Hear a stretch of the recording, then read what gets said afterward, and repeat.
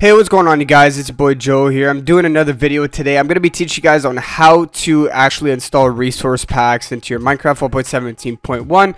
Just in case if any people have been having issues with this, this is for the Java edition. So let's go ahead and hop right into this, guys. So the first thing I want to do obviously is download a texture pack, a resource pack. I have mine right here. I know you don't see the name of it, but it is the Faithful texture pack. I'm just going to be using this one for this example. Now, I do want to advise whatever texture pack you are installing, I would definitely recommend you get the correct version for this. So I know that this is the version for Minecraft 1.17.1, so we're all good to go. So once you've downloaded this, by the way, you will also need WinRAR. Uh, if you guys don't have it, I'll leave a link in the description. If you want to download Faithful as well, I'll leave a link in the description. But the first thing you want to do is once you download this, uh, if we go ahead and double click on this, you know, we can open this. Uh, we don't really necessarily need to do this. So we can close this. First thing we're going to do is type in our search. We're going to go to run. We're going to click on the run. And then we're going to type in percent, percent app data percent. And then you're going to click OK.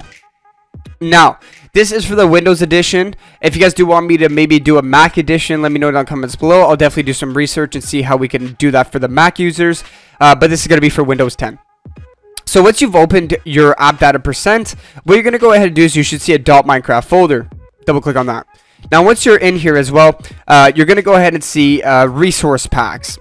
You should see it right here, resource packs, right? It's going to be uh, a bit down. So if you open this up, you're going to go ahead and just grab your texture pack, your WinRAR texture pack, and you're going to drag it into the Minecraft resource pack and that's how you go ahead and install resource packs guys. Alright guys so there's another way actually of doing this. Uh, I just showed you guys the original way of doing it. Now another way would be opening up your actual Minecraft and then you would click on your options right here resource packs open pack folder and then what you would simply do is just drag and drop it. So if you uh, whatever texture pack you have from your desktop you can just drag and drop it here click exit done if you went back to your resource pack, you should see it right there. So that is actually how you go ahead and install texture packs. If you guys enjoyed the video, please let me know in the comments below. I would really appreciate it, guys. And I hope you guys have an amazing day. Adios.